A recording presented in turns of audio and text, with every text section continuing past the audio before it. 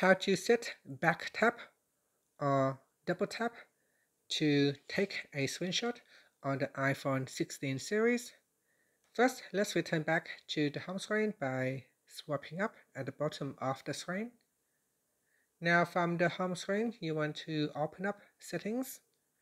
Now in settings, I'm going to go back to the main settings page. So make sure you are back at the main settings page.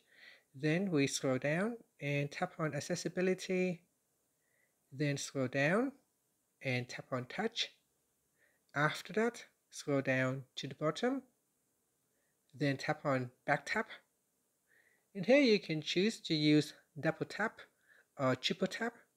I'm going to use double tap. From here in the system section, we scroll down and tap on screenshot. And that's it. Finally, you can swipe up to return back to the home screen. And now when you want to take a screenshot, you can simply just double tap at the back here and this will capture a screenshot. And that's it. Thank you for watching this video. Please like and subscribe to my channel for more videos.